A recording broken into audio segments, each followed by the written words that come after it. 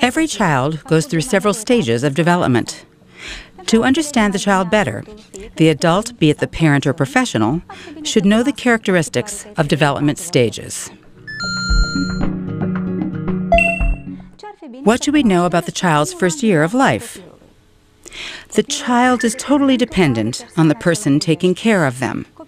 The child develops feelings of attachment towards the parent care provider, which ensures an emotional, protective relationship towards them. The child recognizes close persons in the family and reacts to strangers. The child learns emotions by imitating the parents or other close persons. Communicates needs through movements, facial expression, crying. The child gets to know their environment by discovering various objects, knows the ones which make noise, the ones which move, the ones they like, the ones not to be touched.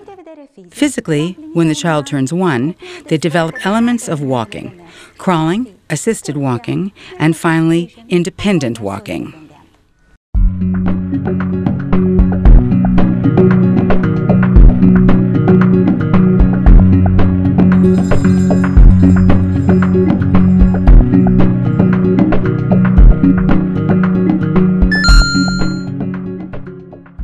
What are the characteristics for the stage between one and three years of age or early childhood?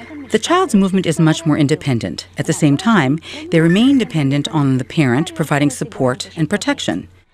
The child is very curious and impatient to learn how each object works and is very active.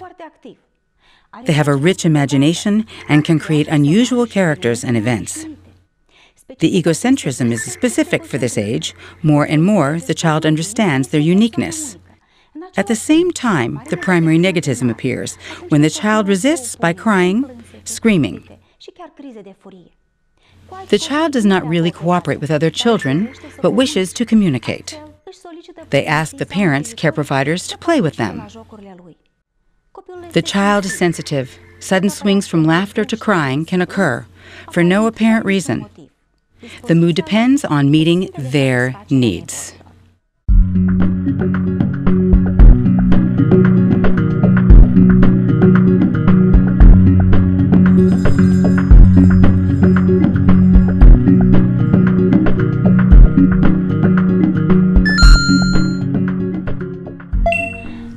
What is a child like at the age of three to six, seven years old? The child is more autonomous, feeds themselves, dresses and removes clothes, chooses toys to play with, etc. The main activity is playing.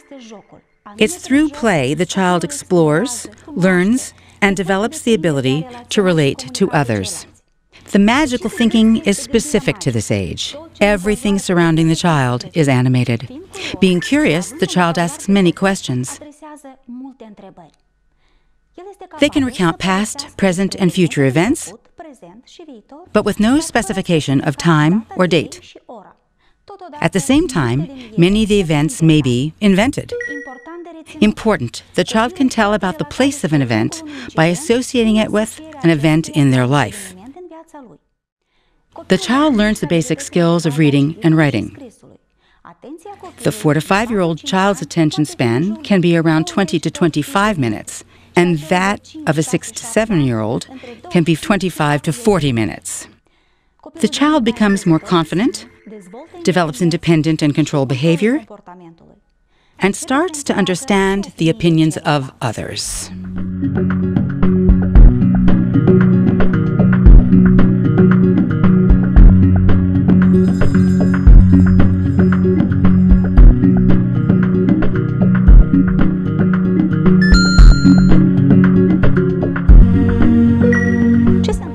Happening with the child between 6 and 11 years old? The main activity is learning. Playing still has an important place, but it is gradually replaced by learning. The young school age child gradually shifts from concrete thinking to logical thinking. The ability to understand the cause effect relationship develops as well as the perception of time and space. The child can focus for 30 to 45 minutes. That's why recreation breaks are absolutely necessary. The child's responsibility for their action increases. Hence, the parent's control decreases. In this context, the sense of duty appears of affiliation with the school or class. From an emotional point of view, the child goes through intense emotions and feelings, but doesn't yet have the ability to control them. They are attracted to forbidden and unknown things. The child understands everything happening in the family conflicts, fights, breakups, and can explain certain things, as well as express an opinion and take a stand in a situation.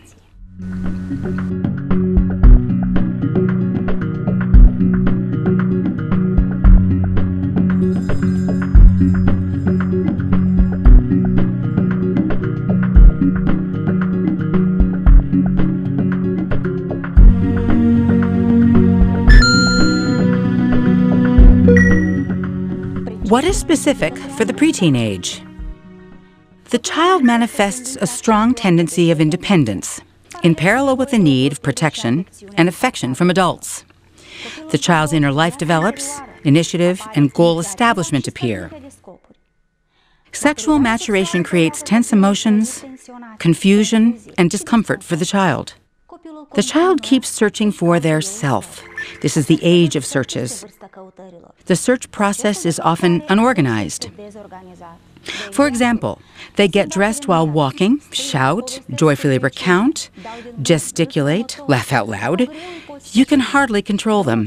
The best path is over the fence, ditch, where they have to make brisk, more energetic moves, where more activity is required. The child experiences a wide range of feelings, such as restlessness, anxiety, irritability, uncertainty, insecurity, joy, enthusiasm, and happiness. Sudden mood swings occur. Relationships with the opposite sex intensify. The child has a tendency towards self affirmation in the peer group. Their opinion counts more than the parents. The relationship with parents becomes tense. The child is rebellious, opposing, generates conflicts, and uses vulgar or offensive language.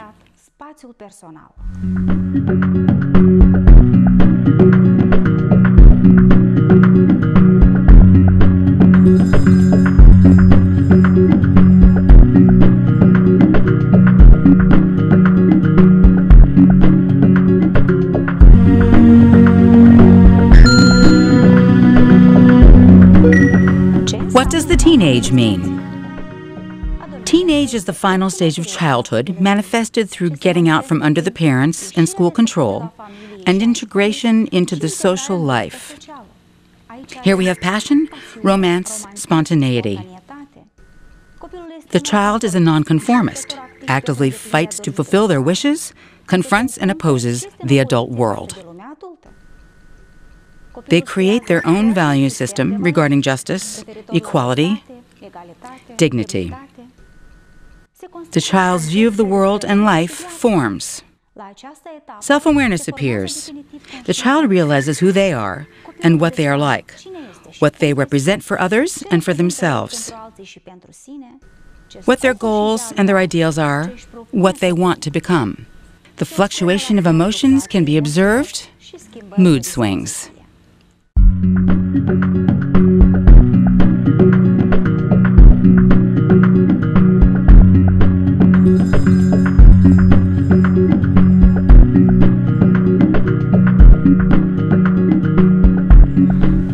Knowing the age characteristics allows us to better understand the child, understand the child's emotions and behavior, build a positive relationship with the child. This way, we ensure good growth and development, a good training for adult life. Knowing the child opens doors to their world. Protect your children.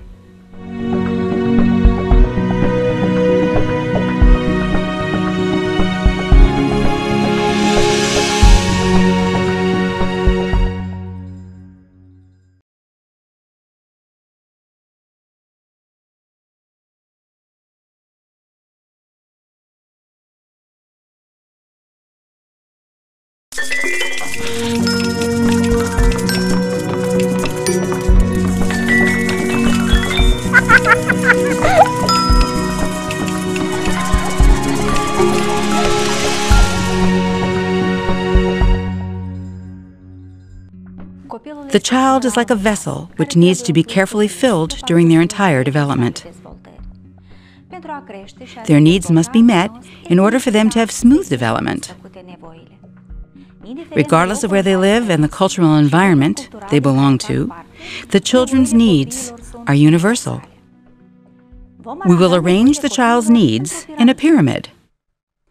The basis of the pyramid are the fundamental needs, the physiological ones, such as the need for shelter, food, water, sleep, hygiene, and care. Not meeting these needs directly reflects on the child's health. A child with weak health is a fragile and vulnerable child. The second level is safety, specifically security, protection, a stable environment, and boundaries. The parents, care providers, have an obligation to protect the child from risk factors and ensure, both psychologically and physically, a balanced, safe, and comfortable environment. Here we also include the need of setting boundaries. As the child grows, they need guidance to direct them on a safe path. The social needs follow.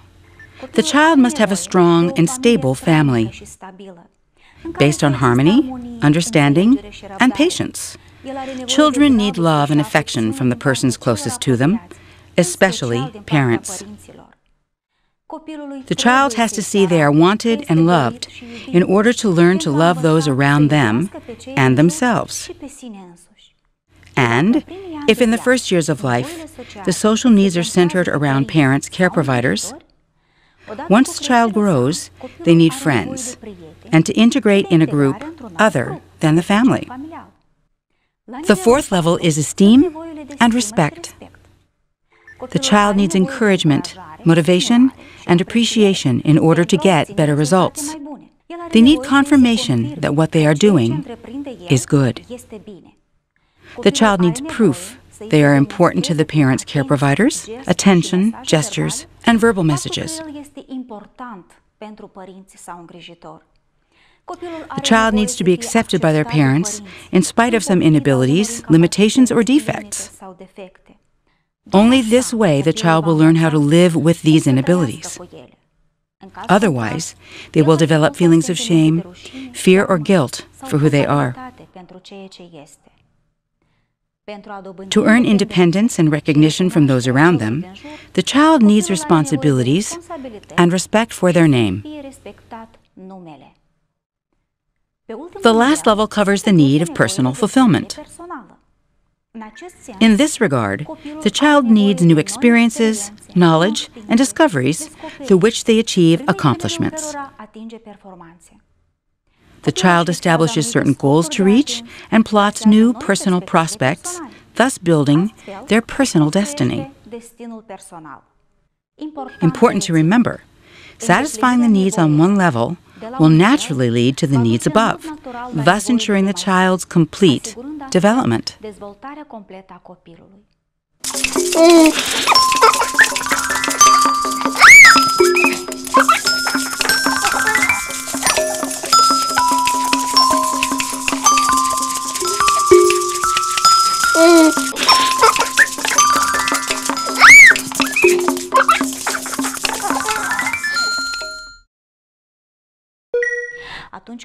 When one of the child's needs is not met, it leads to an emotional and behavioral imbalance. Thus, behind any repeated, unwanted, or inadequate behavior for extended periods, there are many unmet needs. The adult's task is to understand why the child behaves a certain way and to look for ways to meet their needs.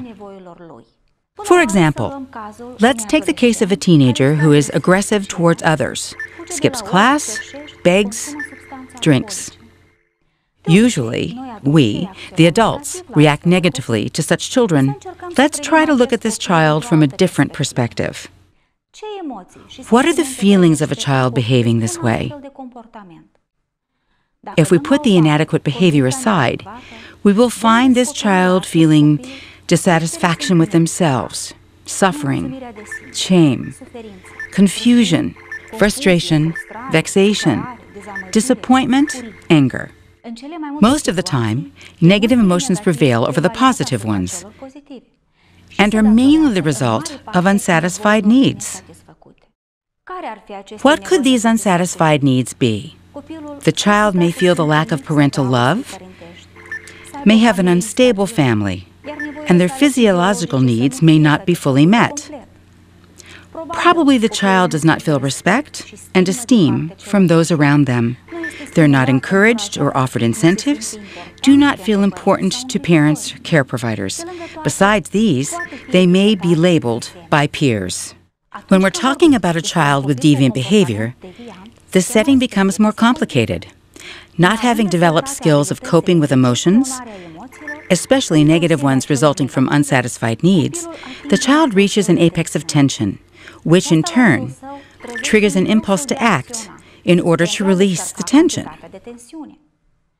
The child searches for a behavior to satisfy the need and acts.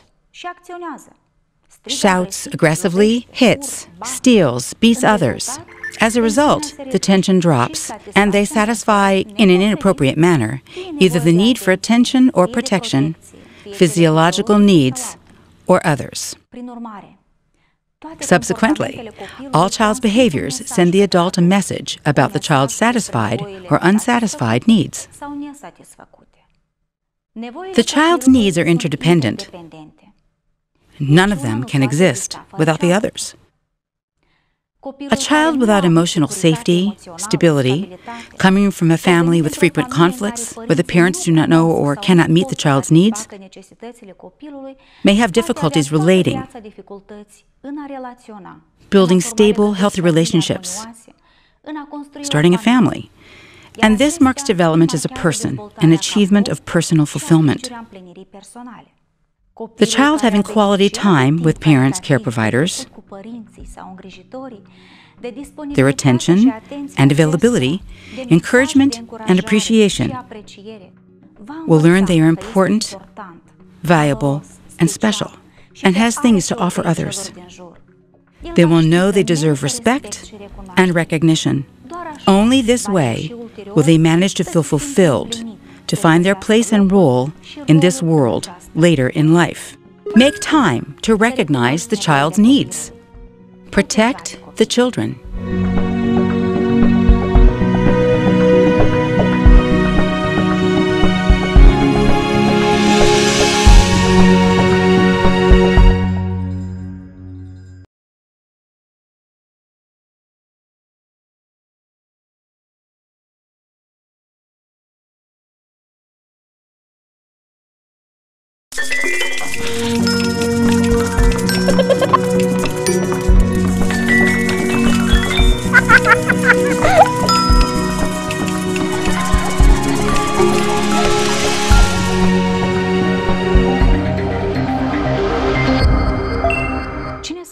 Which are the children who end up under the domain of the justice system? What are the signs to help us identify and help them? It is important for parents or care providers and professionals to recognize at risk children and intervene in a timely manner to protect their rights and best interests. Because they cannot care for themselves and thus depend on us, the adults, children are considered vulnerable.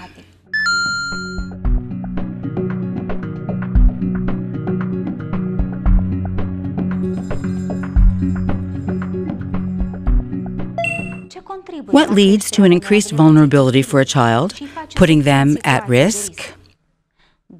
From a domestic perspective, children may be considered more vulnerable if they come from violent, exploitive families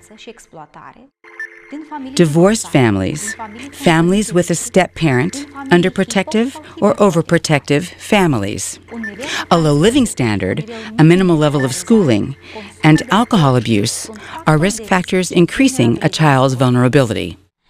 Among social sources making a child vulnerable are stigmatization and discrimination, marginalization, social exclusion. There are also individual factors which increase the vulnerability, such as developmental crises, a child's difficult temper, behavior problems, physical or intellectual disabilities, learning or adaptation difficulties, low self esteem, lack of self confidence, emotional sensitivity.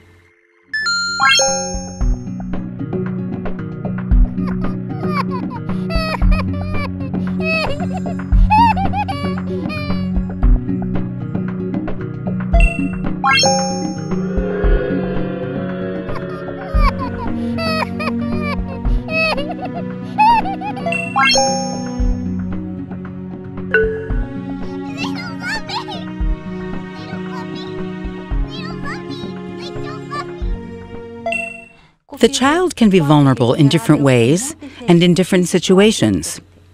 Sometimes the child can become a victim or commit certain antisocial actions. Who is the victim child? A victim child is the child who incurred moral, physical, or material damage by action or inaction. The victim child can be identified through physical, psychological, and behavioral signs. The physical signs tell us about physical or sexual abuse.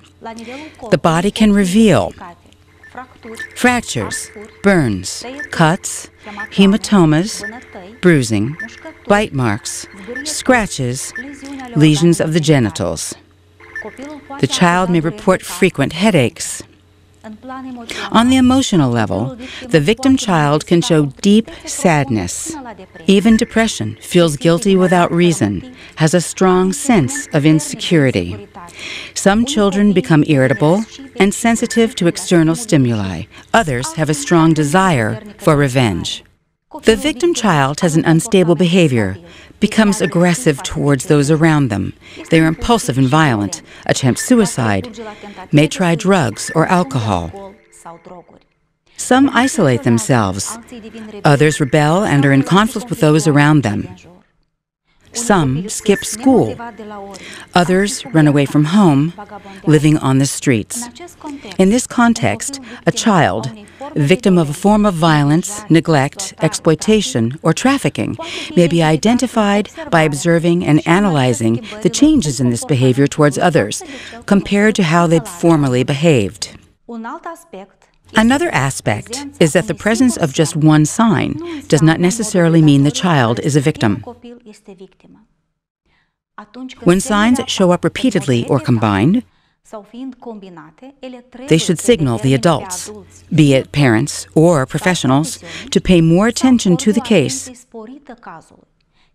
and consider the possibility of violence, neglect, exploitation, or trafficking. you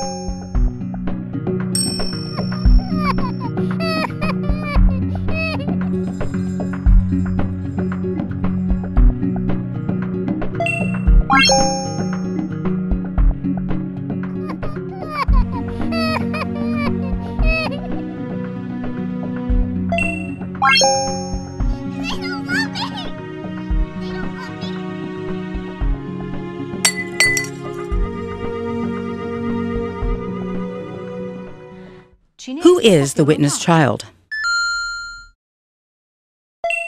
A child who saw an illegal action or has information about one can be a witness. The child may become a witness when one or both parents are violent in the family, when the divorce is violent, when accidentally or forcibly observes aggression among peers, or is obliged to take part. The child becomes a witness when they observe aggressive, violent acts in school or the social environment, crimes committed by strangers, even when they are manipulated to participate in antisocial actions. The witness child lives in fear of their declarations, triggering the revenge of the interested parties, and with a deep feeling of guilt. The child has an intense discomfort, which can manifest itself through depression, frustration, tension, despair, and difficulties focusing at school. The child is aware of what is happening, confused at the same time, and distrustful to denounce. This is supported by a low self esteem and underappreciation of self worth.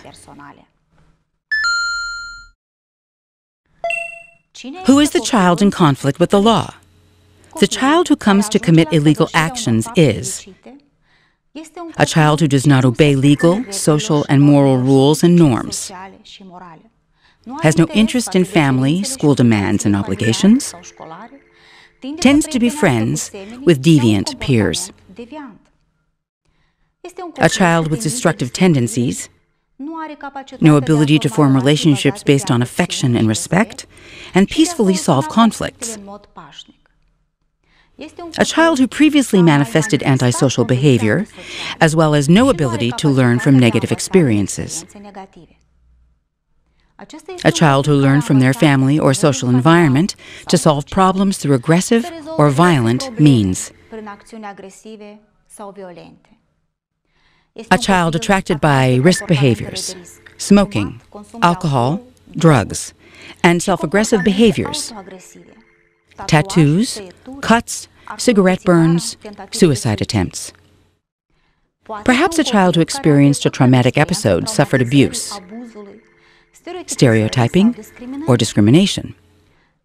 As a personality, a child with low tolerance to frustration, low self control, and lack of guilt. The child has a false image about autonomy and individual freedom, a distorted perception of the meaning of life and interpersonal relationships.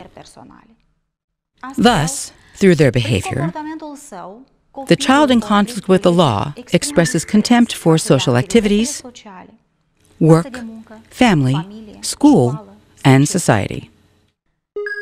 Important to remember a child whose needs are not met is a vulnerable child. A vulnerable child is at risk of becoming a victim child or directly a child in conflict with the law. A victim child in an unfavorable environment and without adult protection may become a child in conflict with the law. A child is not born a criminal, but the deviant behavior can be a consequence of the adult's response to the child's developmental needs. In order to satisfy the child's needs and respect their rights, whether they are a victim, a witness, or in conflict with the law, it is necessary to consider the child's risk of victimization, the child's risk of committing illegal acts. The more risk factors are present, and the higher the child's vulnerability, the greater the risk. And if the risk factors and the child's vulnerabilities are minimal, there is no risk of victimization accordingly. Make time to be responsive and react promptly. Protect the children.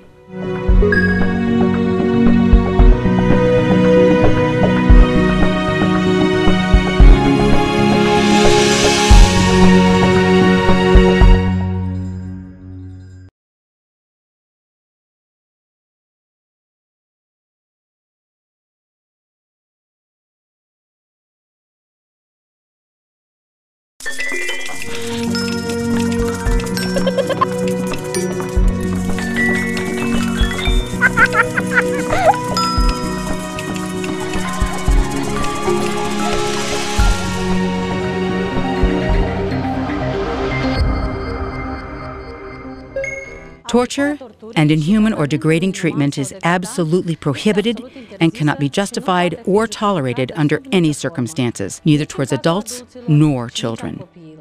On December 10, 1984, the United Nations adopted the Convention Against Torture and Other Cruel, Inhuman, or Degrading Treatment or Punishment. According to this convention, Torture is any act by which severe pain or suffering, whether physical or mental, is intentionally inflicted on a person for such purposes as obtaining from them or a third person information or a confession, punishing them for an act they or a third person committed or suspected of having committed. Intimidating or coercing them or a third person or for any reason based on discrimination of any kind when such pain or suffering is inflicted by or at the instigation of or with the consent or acquiescence of a public official or other person acting in an official capacity.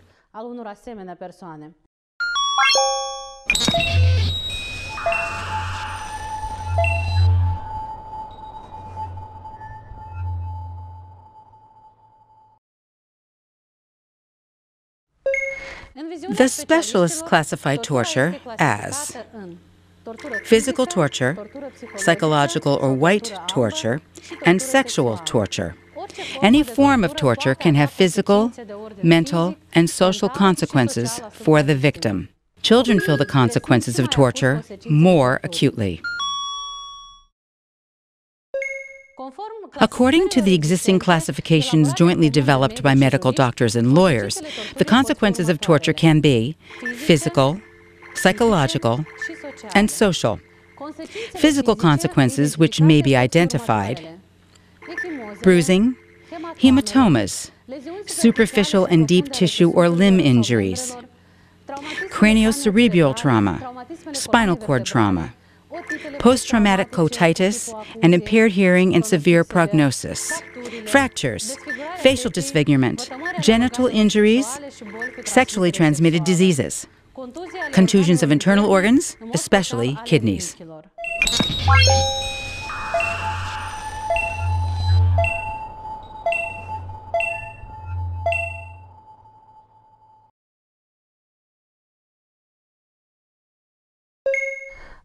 Torture has severe psychological consequences as well.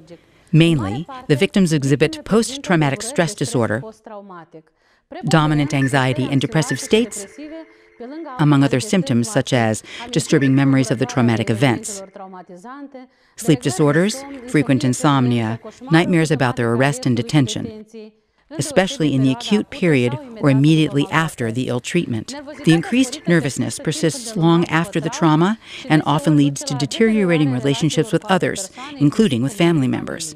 It leads to a complicated living environment for the victim and their entourage.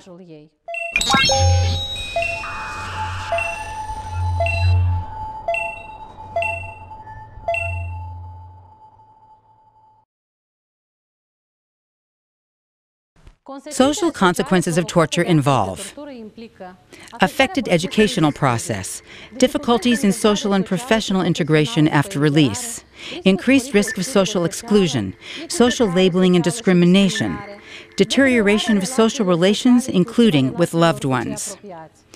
All these consequences intensify social isolation of this category of children and increase the risk of delinquent behavior or affiliation with criminal groups because they feel rejected by the rest of society.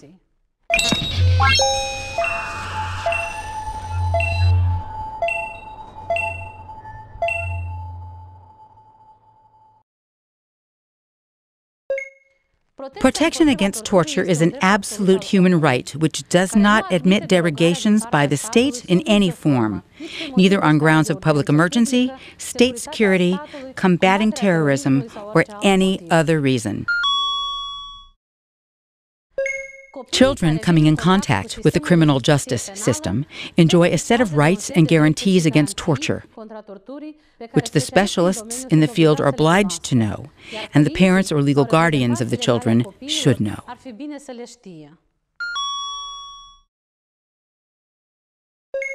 A child's detention or arrest are applied only as exceptional measures and only in cases stipulated by law.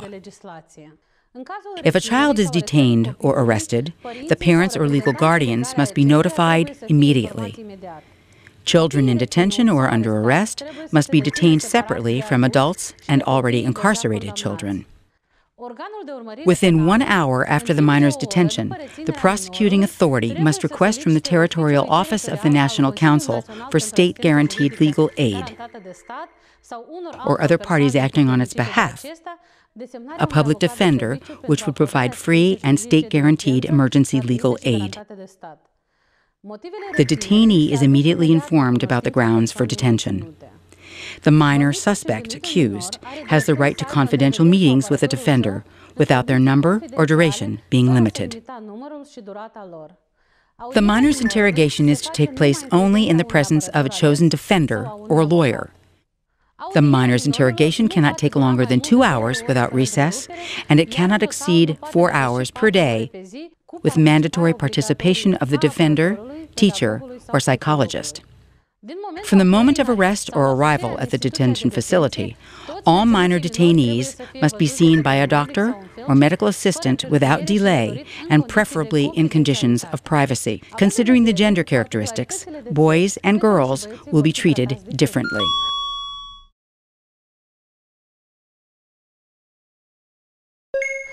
In cases of children in conflict with the law, detention or arrest should be considered the last resort. Still, if a child has been detained, they must be informed of their accusations directly and as soon as possible. Or, if it is the case, through their parents or legal guardian. The child should have legal, medical, or any other appropriate assistance for the preparation and presentation of the defense. The child victims of torture have the right to file complaints in both national and supranational courts. The European Court of Human Rights, for example. Specialists working with children must remember that minors in conflict with the law are exposed to an increased risk of abuse and ill treatment, and the authorities have a special obligation to protect these children from violence. The specialist must report and solve cases of child torture and ill treatment to ensure child friendly judicial proceedings according to international standards. Protect the children.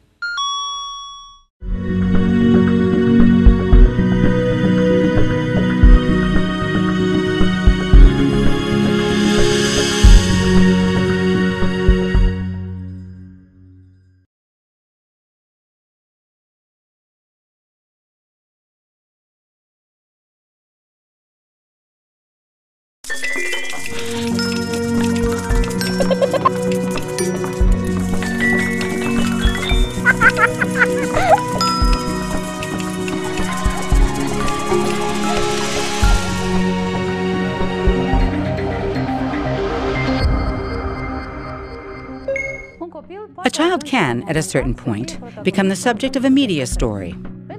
In such situations, there are a set of rules which have to be followed by specialists working with children. In order to protect the child, the parents or legal guardians should also know these rules.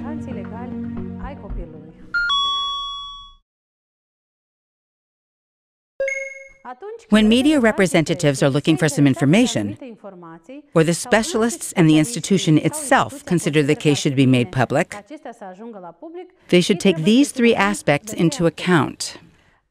The first important aspect is the public interest, or, in other words, the objective interest of the population to know what happened in a specific case. The second very important aspect, but which complicates the specialist's speech, is the rights of individuals involved. We are specifically talking here about the right to privacy and the presumption of innocence. These rights are valid for both adults and children. Moreover, when children are involved, we protect these rights even more because we think from the perspective of applying the principle of the child's best interest. And thirdly, the specialists take into account the obligations and interests of the institutions they represent. When we talk about public interest, we mean an objective, justified interest of the population to know about important phenomena in the society, and not just simple curiosity for the sensational, for private, macabre details, etc.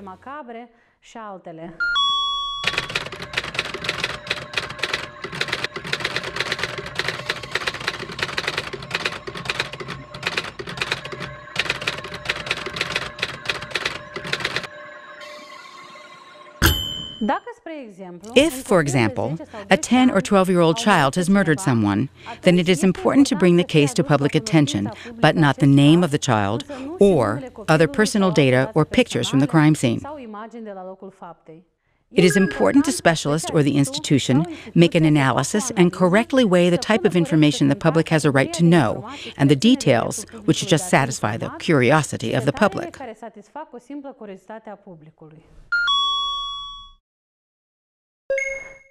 When we are talking about the rights of individuals involved, specifically the right to private and family life and the right to protection of personal data, and we're talking about children either being victims or suspected of crimes, or even convicted minors, the media is obliged to protect them, to not disclose their name, address, parents, school, or municipality. This way, it gives them a better chance for rehabilitation if they are victims, and for correction and social reintegration if they are children who committed crimes. When approached by the media, the specialist will talk about the deed and the events, but will not give details to allow the children involved in a specific case to be identified.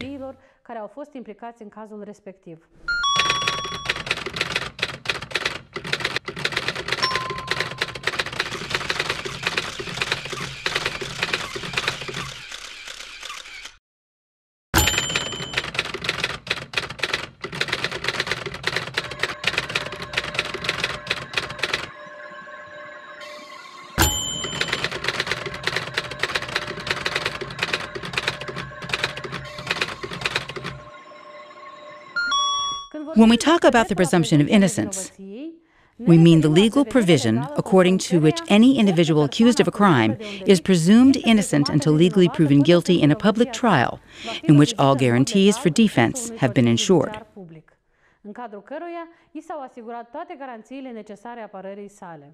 So, only at the end of the trial will we know if the individual is indeed guilty. For this reason, the specialists must use the terms defining the legal status of the prosecuted individual correctly.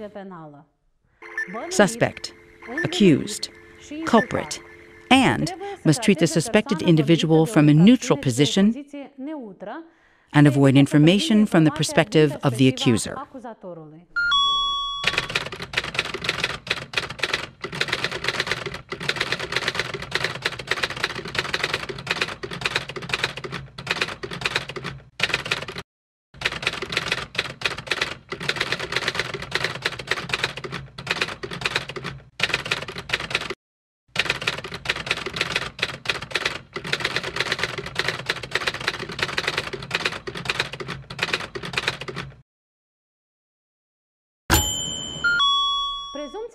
The presumption of innocence is one of the reasons we must protect the identity of the suspects of crimes, particularly when they are minors, because herein lies the child's best interest. There were also some exceptions to the rule. The full identity of a minor suspect can be disclosed if the public interest for knowing who that person is outweighs the private right to protection. For example, if there is a very dangerous, wanted young person with aggressive behavior and, by being at large, they pose a potential threat for the people of the country or the region.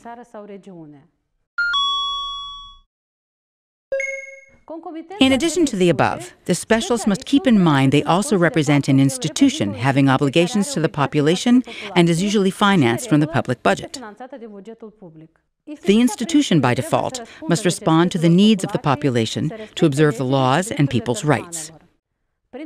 Among the expectations of the population from a public institution are transparency, respectful and open specialists, including in their contact with the media. The specialist should not avoid the media or in any other ways reject it. On the contrary, the specialist should see in the media an opportunity to inform the public on issues of public interest. For example, if a specialist says, no comment, it will be a disservice to their institution. These words show incompetence or insecurity. Accordingly, for the public, this will be a clue that the institution or the specialist is conspiring to withhold important information. An institution represented this way will lose its credibility. In conclusion, a few recommendations for the specialists approached by media. Respond to information requests from the media, but only provide information of public interest. Respect the rights of individuals involved and protect the child's image and private data. Provide clear, concise answers, leaving no room for interpretation. Do not feel obligated to answer just any random question merely because it was asked. For issues of public interest, prepare a press release in advance.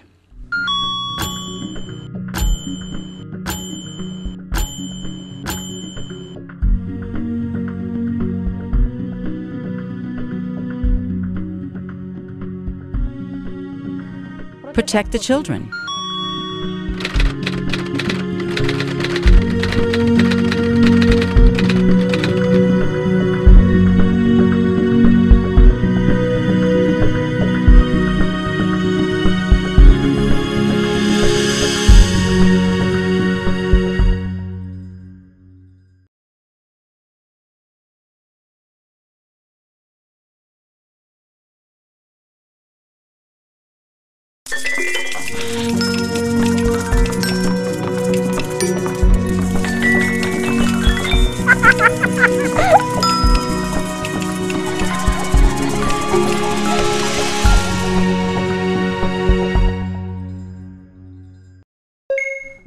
Have you ever imagined life without communication?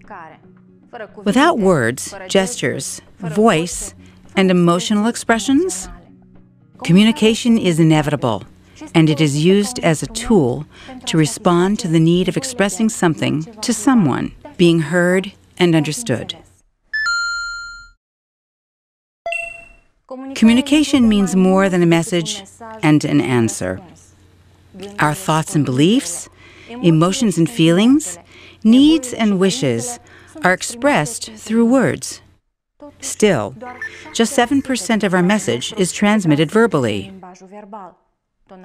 The tone of voice, volume, speech rate, and intensity, pauses and highlights are the paraverbal language and make for 38% of the message.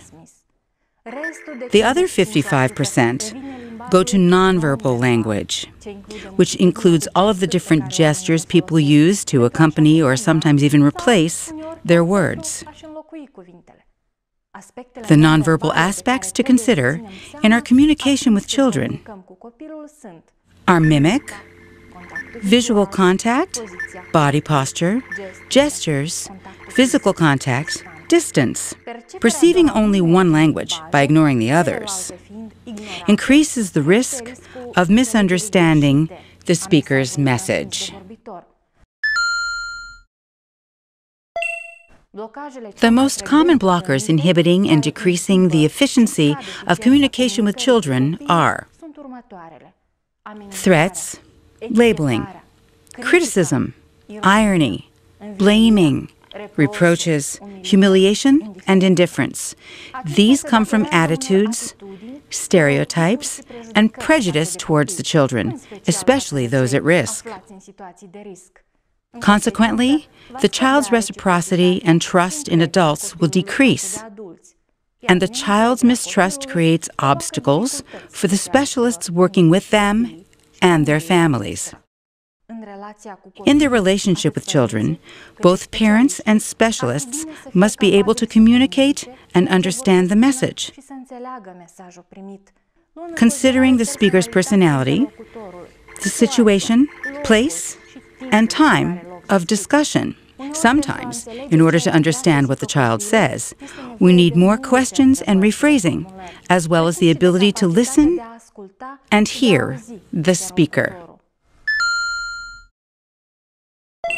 Active listening is the main skill for efficient communication. To really listen means to empathize with the other person's thoughts and feelings.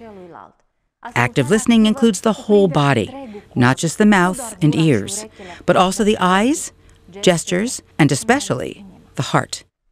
To better understand the communication with children, we will use five key verbs. to be, to feel, to see, to speak, and to listen. To be present and open in your communication with children means to find a quiet place where the child feels at ease to talk. Sit beside the child and down with him, not behind him.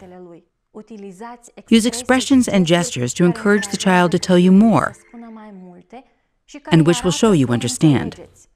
Try to pay attention only to the child, without distractions. Show interest for what the child is going through. Be respectful. Any child, regardless of the situation they are in, will cooperate if they feel understood. For that, be lenient and give the child time to tell their story. Be trustworthy and show them you can be trusted to keep a secret. Show affection Accept the child without judging them. Have the courage to tolerate their behavior, even if it seems disgusting. Each person has both positive and negative characteristics. Some children are in difficult situations due to circumstances for which they cannot be held accountable. This is why you need to emphasize the child's positive traits. To show a child they have your undivided attention, try to look them in the eyes or in the face, but do not exaggerate. Observe the child's posture. Notice their facial expression. Try to understand what hasn't been said. Discover the true emotions and feelings behind the story and nonverbal language. If the child feels pressured, tired, give them some time. To speak is to express your thoughts and emotions into words and behaviors, which in turn should be clear so the child understands what you're saying. Better to keep the messages simple, concrete, and specific, not complex, abstract, or general. Ask a question, then wait for an answer. Do not ask many questions at the same time, as the child becomes confused and doesn't know what to answer. The child needs to feel that the adult listens to him. Therefore, listen carefully and try to remember what the child tells you. Rephrase what was said to you to show you understood correctly the message. Ask questions to clarify details or to understand better. React and offer encouraging suggestions and answers. It is important to remember Children must feel the adults care about them and what they are saying. Their words and their stories must be treated seriously and with respect. Protect the children.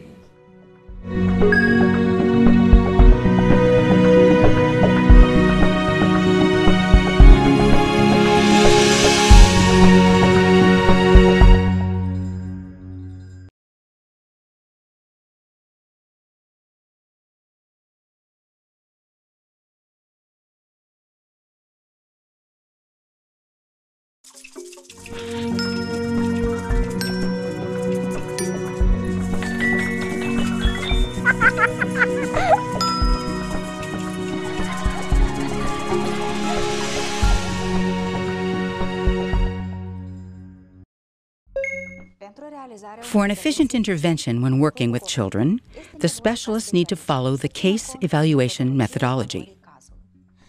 There are several evaluation methods, such as observation, documenting, interview, questionnaires, etc.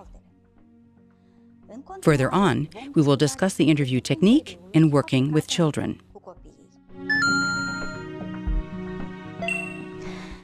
The interview is a dynamic interactive conversation with a specific goal between a specialist and the interviewee.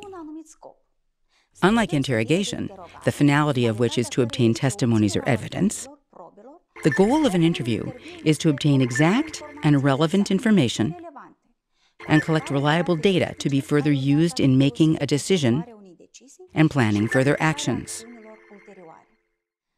The interview technique follows several stages. 1. Interview preparation and planning. 2. The inception of the interview, making contact and introductions. 3. Conducting the interview to understand, clarify, and consult the child or family. 4. Concluding the interview with conclusions and proposed assistance. All specialists from the multidisciplinary team use the interview and they should follow its stages. Even if the goal of this technique is common, each specialist will follow their objectives in an interview due to specifics of the assistance provided. An interview conducted by the child protection specialists will start by establishing the goal and subjects to be discussed. It is important to know in advance how to approach the issues and which difficulties may come up. The specialist should know if other specialists from the multidisciplinary team will also participate in the interview and what will be the role of each of them. The place and setting of the interview should be known to the specialist in advance.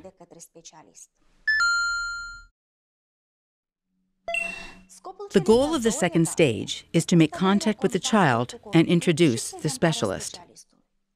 It is important the child knows your name, who you are, your role, and the goal of the discussion. Explain to the child why you gather information, who will use it, and how. Explain that the meeting is confidential, but it may be needed to share the information with other specialists. Use a simple and understandable language. Be open and friendly to help the child feel at ease. If at a certain point what the child said is unclear, you should ask them to repeat or rephrase what they said.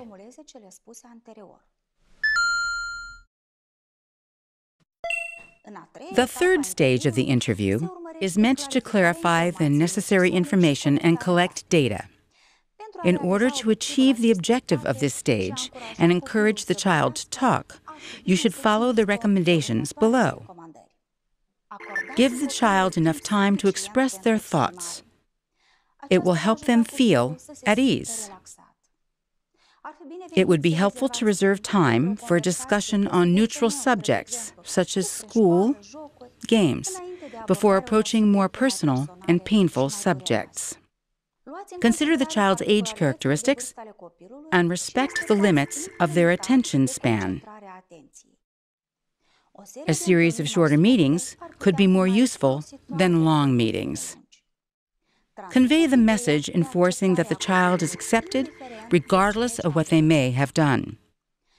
Listen to the child carefully and show respect for their personality and feelings. Express empathy with messages such as, This probably really upset you, or I see you're afraid. Let the child say everything they have to say without interrupting them. When you feel the need, take breaks.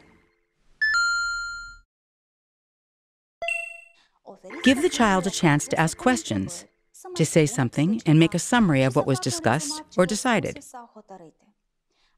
It will help them feel they were taken seriously. End the meeting with a positive element, especially if the child opened up about traumatic events.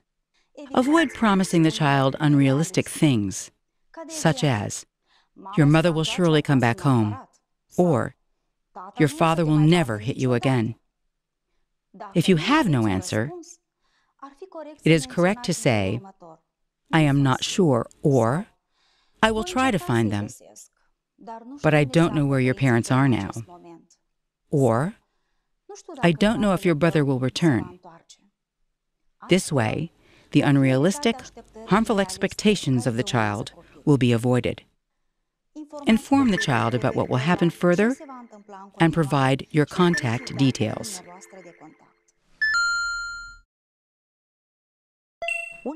One of the fundamental abilities of a child protection specialist ensuring the success of an interview is wording the questions. There are several types of questions. Open questions are those starting with what, who, how long, where, how, which, when, and determine broad answers providing a lot of information. Closed questions are those giving limited possible answers, such as yes or no. These questions require precise answers relevant to evaluating the issue. Still, used frequently, the conversation tends to look like an interrogation and communication can be hindered. Try to use more open questions. They encourage the child to explain things in their own way. Avoid using the question, why? Because the child may feel judged and forced to explain. Avoid multiple questions. For a child, it is already too complicated to remember the first question when you finish asking the last one. Ask the questions one by one, giving the child time to think before answering. Avoid questions with suggested answers. The child will feel obliged to give the expected answer. These questions manipulate or give the feeling of having no choice. Remember, you must explore the subjects. An efficient interview looks more like a discussion. Here are some examples of questions often worded wrong and the recommended version. Instead of, Did you get upset? use, How did you feel when it happened? Instead of, Why did you hit? use, What made you hit? Instead of, Where did you find the wallet? Who was around? Do your parents know about it? Did you tell anyone? Use. Where did you find the wallet? Who was around? Who did you tell about the wallet you found? Instead of, your father is the one beating you every night, isn't he? Use, who used to beat you? Finally, some important recommendations which ensure efficiency of the interview. Choose a space where the child feels comfortable. Use child-friendly spaces in the municipality, community centers for children, or psychology offices in the education institutions. If the interview will take place at school, except for cases when the abuser is school staff, then talk to the school management and ensure the child's privacy. Children have to be called in from classes as discreetly as possible, and the school staff will respect the confidentiality. Home interviews may be appropriate when parents are protective and the offender is not part of the family. Try to avoid taking notes during the interview. If it is necessary, explain why and ask the child's permission beforehand. If a child is crying, do not stop the conversation immediately. Try to find out what made them cry. Tell the child they must recount only the things which happened, even some of their secrets. Let the child know if you repeat certain questions. It does not mean that they gave the wrong answer, but it is you who did not understand well and need clarification. Tell the child they can tell you without embarrassment if they need a break, water, or to use the toilet. Important to remember. The success of the interview is ensured by how competent the specialist is in efficiently relating to the child, regardless of their age or status. Respect, empathy, privacy, confidentiality are some of the principles of a successful interview. Appropriate question wording ensures obtaining more information. Protect the children.